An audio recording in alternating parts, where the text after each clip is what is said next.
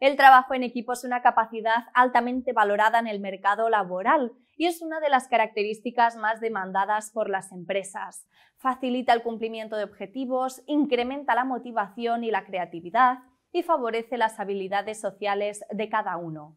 En este sentido, en el vídeo de hoy os vamos a explicar por qué es tan importante el trabajo en equipo en una empresa. Primero vamos a definir qué es el trabajo en equipo se define como la unión de dos o más personas organizadas de una forma determinada, las cuales cooperan para lograr un fin común que es la ejecución de un proyecto.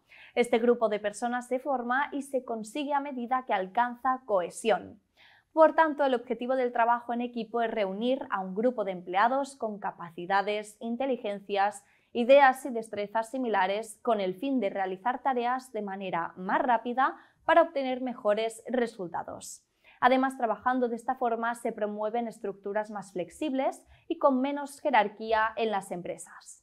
Asimismo, el trabajo en equipo ayuda en la toma de decisiones, promueve la amistad y las relaciones interpersonales, permite socializar y expresar sentimientos y opiniones con mayor libertad. Todos estos elementos tremendamente importantes para el desarrollo personal y para generar un buen ambiente de trabajo.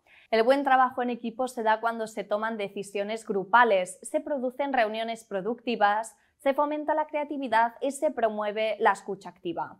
Así, con respecto a las decisiones grupales, aunque en un principio no todos estén de acuerdo, se ha de promover y tener la habilidad para que se llegue a un consenso para que todo el mundo se suba al mismo barco. Respecto a las reuniones productivas, se sabe que estas han sido cuando después de cada junta los asistentes saben bien qué paso seguir y que su participación ha sido fundamental. Durante las reuniones, además, es buen momento para generar nuevas ideas y estrategias para hacer crecer la empresa. En relación con lo que acabamos de explicar, cuando todos los miembros saben qué hacer y son conscientes de su peso e impacto en la compañía, se crea el caldo de cultivo perfecto para que surjan la innovación y la creatividad necesarias para el crecimiento. Por supuesto, de nada sirve trabajar en equipo si después cada uno va a la suya. Por lo tanto, la escucha activa es un elemento fundamental del buen trabajo en equipo. Todo el mundo está en la misma onda y cuando surge algún problema están dispuestos a apoyar.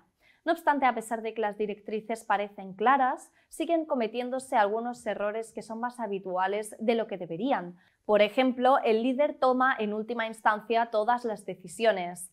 Cada área se preocupa por sus propias metas y culpan a los demás de no alcanzarlas. No existe una comunicación continua entre departamentos. Existe una competencia no sana entre áreas o individuos. Hay desconfianza o faltas de respeto entre los miembros del grupo. Se habla utilizando la primera persona del singular y no la del plural, Finalmente, para terminar con el vídeo de hoy, os vamos a explicar 10 puntos clave para fomentar el trabajo en equipo. El primer punto es la construcción de confianza, y la confianza es el elemento principal del trabajo en equipo. Por ello es fundamental impulsar un ambiente donde todos los participantes conozcan las habilidades de los demás, entiendan sus roles y sepan cómo ayudarse mutuamente. Para que los empleados trabajen en equipo, deben perseguir las mismas metas, tener unos mismos objetivos comunes y por eso es importante que conozcan la misión de la empresa de manera uniforme y que sepan cómo pueden contribuir a cumplirla. Los seres humanos necesitamos sentirnos parte de algo, por eso el factor más poderoso en la creación de equipos es el desarrollo de una identidad común, es decir, conseguir un sentimiento de pertenencia. Nada afecta más a un trabajo en equipo que el hecho de que las decisiones sean tomadas por un líder autócrata. Para evitarlo es necesario que cada empleado sienta que cuenta y que se valora su opinión, así como que participa en la toma de decisiones. Es muy fácil criticar o subestimar el trabajo de los demás cuando uno no lo conoce o no lo ha ejecutado. Así que para crear empatía y entendimiento entre las partes es buena idea realizar ejercicios de rotación entre departamentos. Así, cada miembro sabrá en qué consiste la labor del otro y cómo puede contribuir a hacerlo mejor.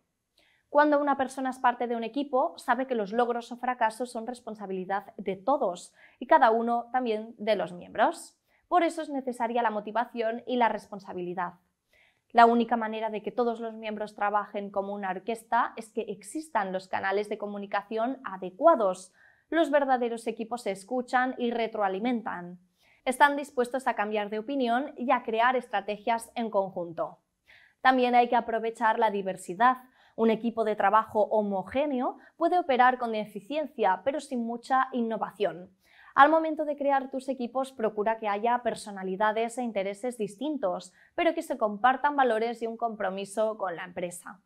Aunque es importante también reconocer el trabajo individual, es clave que las recompensas se den por resultados en equipo. Esperamos que con el vídeo de hoy tengáis un poco más claro la importancia del trabajo en equipo. Hasta pronto.